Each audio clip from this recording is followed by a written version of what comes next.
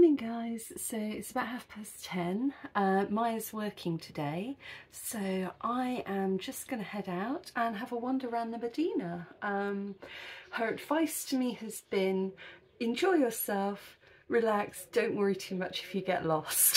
so uh, that's what we're going to do. So she's given me the directions to somewhere that I can get breakfast, so a nice cafe square.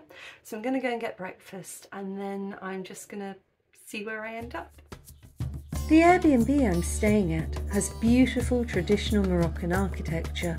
This is the communal space, but I think I was the only one staying, as I never saw anyone else.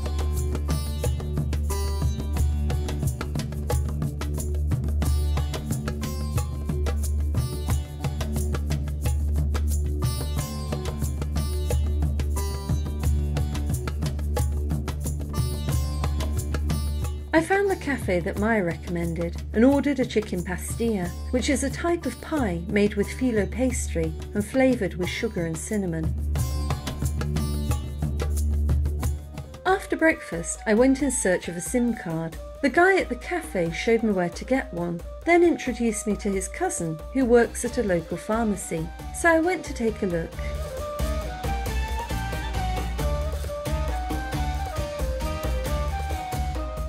So this is, is what we call the Moroccan Berber seed. Mm -hmm. So this is a mixture of uh, plants that we call the royal Berber seed for relaxing, for removing headache, for removing stress, also have for sleeping. As you see, it's a mixture of a lot of ingredients. For example, it has the anise. So this is the star of the anise. It has also the amber. So this is the amber type of amber that we get it from the trees. It's like a glue that is came from the trees. This is the Moroccan ginseng. It has also the, the verbena. It has the Soch, or what can people call the salvia, and it has also the masses flower. So this is the masses flower and the hibiscus or the carcadine. And it has a few drops of saffron and the lemon lemongrass. So it's all natural ingredients. Once you mix all those ingredients, you prepare the royal Berber tea. It's a tea for relaxing, for removing stress, removing headache, and people were using it for a long, long time ago. So this is the Berberian cultures. So like this, we're using it just with hot water. We don't add sugar, we don't add green tea, we don't add green mint, and we don't boil it also. Because mm -hmm. once you boil the plants, it will be toxic. So like this, what do we do? We put it just with hot water and we let it for two minutes, a couple minutes like this. Then we filter it and you drink it. Then you can enjoy the Moroccan whiskey without alcohol for giving energy, giving power, giving force. So okay. it's, it's like natural Viagra. Okay tiny, isn't it? There are so many herbs and spices used in traditional Moroccan medicine. It takes years for someone to become truly proficient in mixing all of the preparations.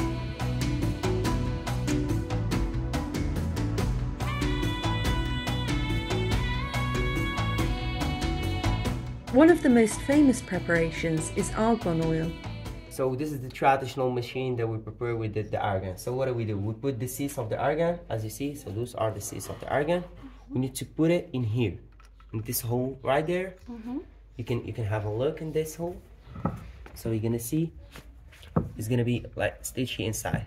So what do we do? We round it like this. So once you turn it like this, the green the the seeds of the the argan is gonna crush.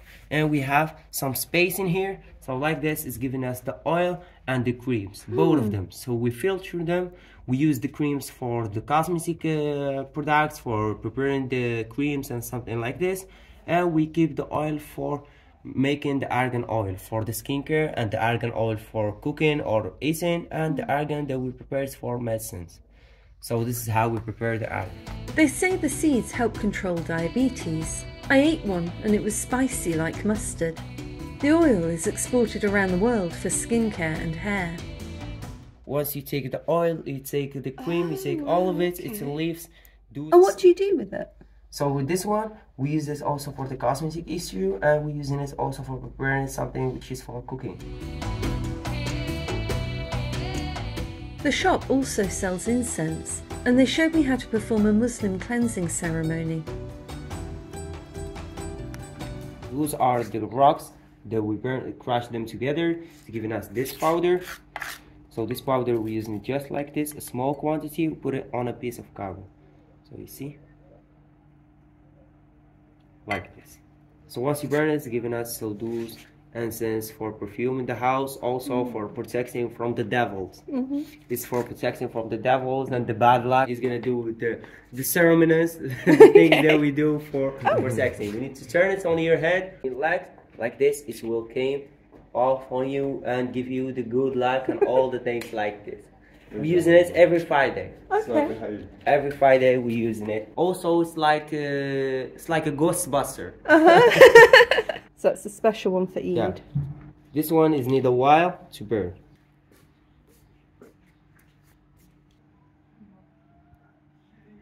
So this one you can see it's just a just a type of rose. So we need to make it wet like this. Oh gosh. So this is the coquelicot. This is the effect of the coquelicot. We need to rub it like this in our hand. You can see how it's coming. So red.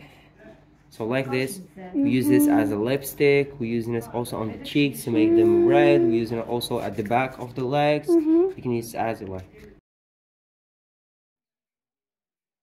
So I'm having a great morning so far. I went to get breakfast. I got breakfast in this little um, cafe area that Maya suggested. And then I asked the waiter where to get a SIM card, and he took me to get the SIM card. So I now have a SIM card. But then his cousin also runs um, the Berber pharmacy, and he said you've got to come and see the pharmacy. And I was like sitting there thinking, really, what what's in a pharmacy? Like antibiotics, foot cream, and I walked in there and I had no idea. Um, it was fantastic. So I went to buy a SIM card and I walked out with 40 euros worth of oils and soap. But I'm happy about it. Everybody is really kind and friendly so far. Um, it's nice because people speak Arabic, but they also speak French. And I don't speak much French, but I speak just enough to be polite. Um, so that has served me really well. Everybody says hello. It's really friendly. Um, I feel very comfortable just walking around on my own, but everywhere I go, somebody wants me to come and see something or buy something. So, not in a kind of um, overwhelming way. You know, you can say no, thank you very much, and smile, and that's fine.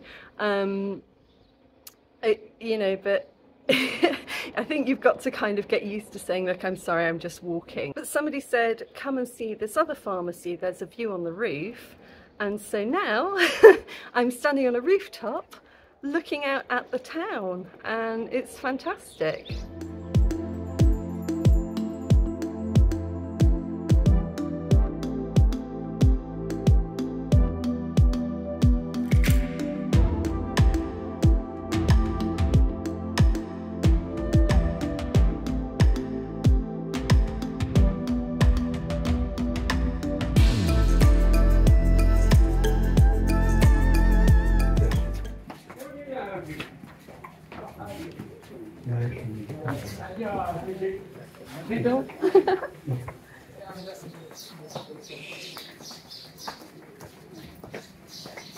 Well, I'm just having a lovely time wandering around the Medina.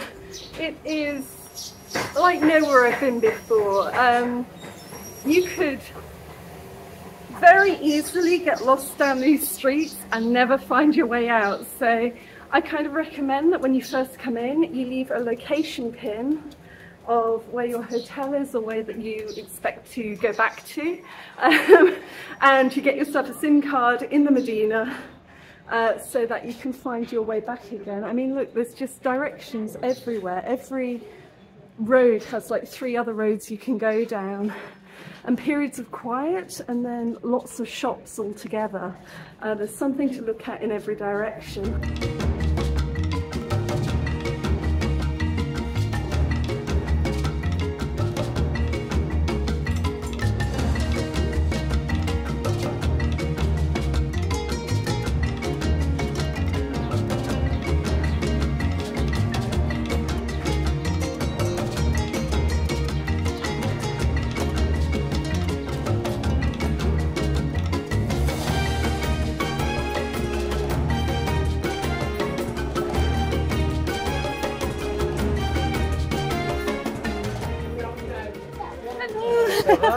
sweet. Thank you. And for me, I am. I think I'm that way.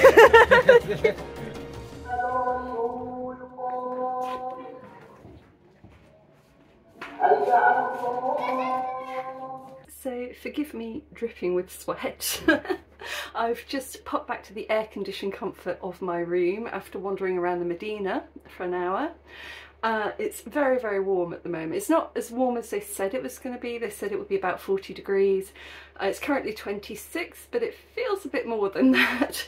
Uh, and it's going up to the mid 30s over the next few days. Um, I am not somebody who can really uh, sleep with air conditioning on. I always find it gets too chilly. Um, not a big fan of air conditioning at night, but I must admit, stepping in off the street um, in the middle of the day into a perfectly air-conditioned cool box is absolutely wonderful. So if you're staying in Fez, I definitely recommend finding somewhere with air conditioning. Um, I have been blown away by just how friendly people are. Um, everybody says hello, everybody, you know, I feel very safe as a single female traveller wandering around. The only thing that I did notice is if you are a single female traveller and you stay still for any period of time, uh, men seem to approach you mostly just to ask if you want to see their shop or if you're trying to find somewhere. Um, I think it's low-key solicitation, um, maybe that's just me uh, being a bit overly cautious, very friendly, never feel threatened. But yeah, I did find if I was standing there just sending a WhatsApp to my friend or, you know, uh, checking the map to see where I was, um, people, young men then started to approach me. But um, no, I feel very safe. Everybody's been very polite. If I get lost, people can show me where I need to go. Um, they seem to be very, very used to lost tourists. um, and you can see why, because I mean, unless you're laying breadcrumbs or you've tied a piece of string to the door, it's tough to find your way back to somewhere. But the nice thing is, because everybody says hello to each other, um, you realise that if you go around in circles, you start to see the same people again.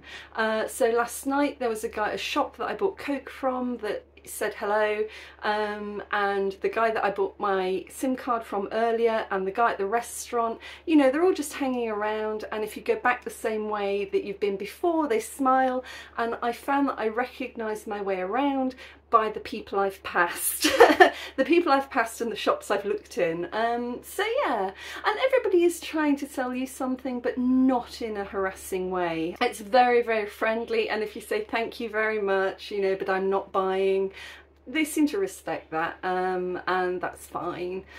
So yeah, I am loving Fez. I mean, I'm just loving it, I really am. Um, and I came with no expectations, I didn't do any research before I came here. Uh, I did come with friends, so for me that's that's helpful because I know that if I get lost or there's a problem, I can call one of them and they will come and find me. Um, but yeah, I mean it is a nice place just to walk around. I mean seriously, this is the ceiling of my Airbnb. It is absolutely delightful. That evening, Michaela cooked a traditional Moroccan meal for us, a lamb tangine with vegetables.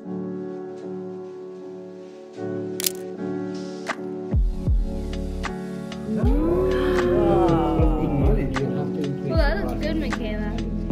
That look good? Fabulous.